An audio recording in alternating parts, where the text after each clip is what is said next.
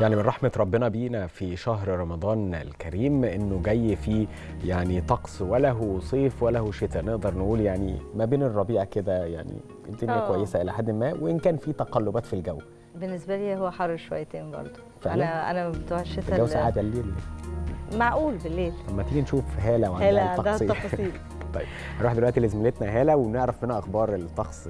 هالة. شكرا يا منى شكرا يا عبد الصمد. هيئة الأرصاد بتتوقع إن النهارده الطقس هيكون مائل للدفء نهارا على القاهرة الكبرى والوجه البحري معتدل على السواحل الشمالية مائل للحرارة على شمال الصعيد حار على جنوب سيناء وجنوب الصعيد. بالليل الجو هيكون بارد على أغلب الأنحاء. في فرص أمطار خفيفة على السواحل الشمالية وشمال الوجه البحري ونشاط للرياح على كافة أنحاء الجمهورية بيؤدي إلى اضطراب الملاحة على البحرين الأحمر والمتوسط. خلونا نعرف تفاصيل أكتر عن الجو النهارده من الدكتورة منار غانم عضو المركز الإعلامي بهيئة الأرصاد الجوية. صباح الخير دكتور منار. صباح الخير على حضرتك أستاذة هالة وصباح الخير على كل السادة المشاهدين. أهلا بك يا فندم. أهلا بحضرتك. دكتورة منار إيه أخبار الطقس النهارده؟ وهل في مناطق هيكون فيها فرص أمطار؟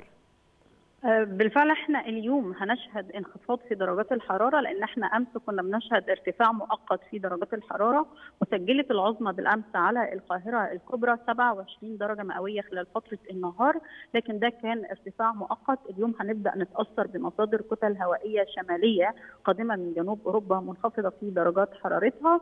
بالإضافة كمان امتداد لمنخفض جوي موجود في طبقات الجو العليا هيعمل على تكاثر السحب المنخفضة والمتوسطة على مدار اليوم وهيساعد على الإحساس بانخفاض درجات الحرارة واليوم متوقع العظمى على القاهرة الكبرى خلال فترة النهار تكون 22 درجة مئوية.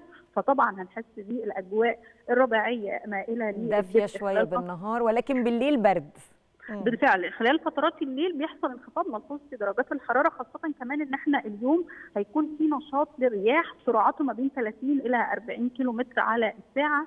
في أغلب مناطق الجمهورية نشاط الرياح دايما بيساعد على إحساسنا بانخفاض درجات الحرارة. فترة النهار وأيضا كمان فترات الليل فهنحس أكتر بالبرودة خلال فترات الليل خاصة ساعات الليل المتأخر فترة الصباح الباكر. الأجواء معتدلة فترة النهار على المناطق الساحلية مائلة للحرارة على المناطق الجنوبية. اليوم كمان مع تكاثر السحب المنخفضة والمتوسطة هيكون في فرص لسقوط الأمطار بالفعل على المناطق الساحلية المطلة على البحر المتوسط آه، سواحلنا الشمالية وشمال الوجه البحري. لكن هي فرص أمطار خفيفة غير مؤثرة تماما على أي أعمال أنشطة يومية ممكن نلاحظها في أماكن والأماكن الاخرى لا. كمان مع نشاط الرياح هيكون في اضطراب شديد في حركة الملاحة البحرية خاصة اليوم على البحر المتوسط. ارتفاع الأمواج ما بين 3 إلى 4 متر وغير مؤهل تماما لأي أعمال صيد وملاحة بحرية. اليوم مم. كمان في اضطراب ملاحة بحرية في خليج السويس.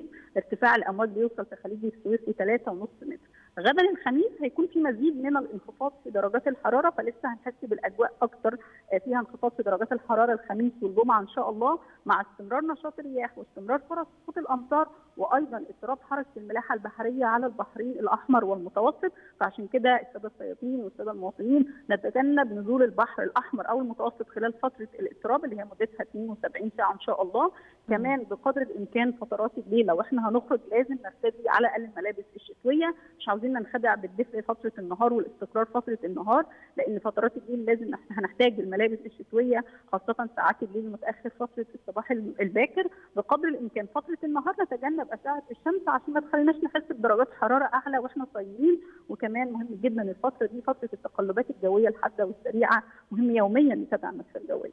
طيب دكتورة منار امبارح هيئة الأرصاد امبارح الفجر حذرت من انذار بحري خاص بال بالبحر الأبيض المتوسط. إيه اللي هيحصل وإزاي آه، هتتأثر حركة الملاحة بارتفاع الأمواج؟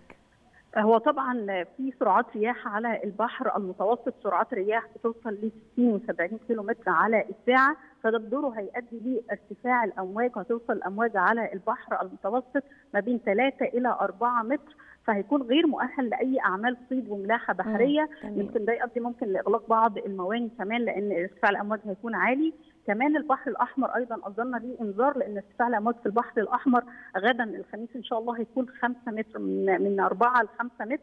فمهم جدا ناخد بالنا من اضطراب الملاحة البحرية على البحرين بقدر الإمكان. السادة المواطنين بقى نتجنب أعمال التنزه في البحرين الأحمر والمتوسط.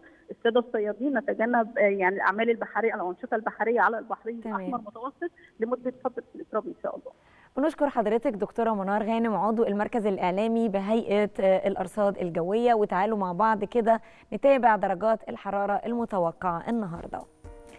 في القاهرة درجة الحرارة العظمى 22 والصغرى 13 العاصمة الإدارية 22 14 الإسكندرية 19 14 والعلمين الجديدة 20 14 مطروح 19 13 ودمياط 21 15 أما بورسعيد 20 15 والإسماعيلية 23 13 ونروح للسويس العظمى 22 والصغرى 14 أما في العريش 21 13 في كاترين العظمى 18 والصغرى 7 وفي طابة العظمى 24 والصغرى 14 حلايب 26 16 وشلاتين 29 19 شرم الشيخ العظمى 30 والصغرى هتكون 19 أما الغردقة فالعظمى 30 أيضا ولكن الصغرى 17 في الفيوم العظمى 25 والصغرى 12 وفي بني سويف العظمى 25 والصغرى 12 أما في الوادي الجديد فدرجة الحرارة العظمى 32 والصغرى 13 وفي أسيوط العظمى 27 والصغرى هتكون 12 في سوهاج العظمى 29 الصغرى 13 قنا 32 14 الأقصر 33 15 وفي أسوان 33 16 ودلوقتي عودة لزمايلي في الاستوديو منى وعبد الصمد ومتابعة باقي فقرات برنامج صباح الخير يا مصر. شكرا شكراً. لك يا هلا والشكر موصول طبعا للدكتورة منار غانم